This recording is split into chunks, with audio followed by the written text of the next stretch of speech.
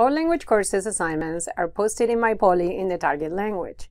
Encourage your student to look at the Poly page ahead of time to ensure that homework assignment is clear.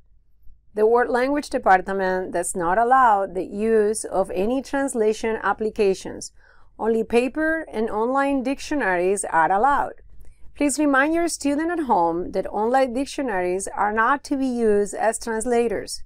Dictionaries such as wordreference.com will allow you to look up individual words in the right context.